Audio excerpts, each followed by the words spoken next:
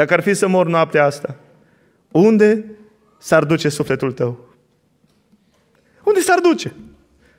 În cer cu Dumnezeu sau în locul cel veșnic, în iadul cel veșnic?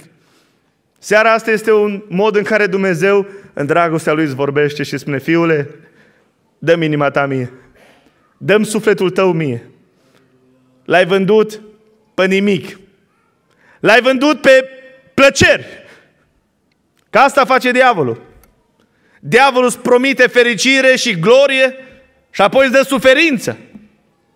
Iisus Hristos când vine la El îți promite lepădare de sine, cruce, suferință, dar îți promite că va transforma suferința asta în glorie veșnică împreună cu Dumnezeu. Nu-ți vinde sufletul diavolului, nu fă târg cu el, nu fă târg. Și spune, Doamne, vreau să-mi pun sufletul meu în mâna Ta. Cea mai valoroasă parte pe care Dumnezeu ne-a dat-o prin creație este sufletul. De aceea te invit să-ți dai viața lui Isus Hristos. Să spui, Doamne, vreau să mă pocăiesc și vreau să cred în sângele Tău, Doamne, care mă curăță de orice păcat. Dumnezeu te iubește.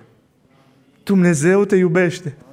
Indiferent cine ești, indiferent de păcatele tale, Dumnezeu te iubește. Dar trebuie să vii la El cu pocăință. Și Dumnezeu este acela care te va primi, lăuda să fie Domnul. Amin? Amin, frați și surori?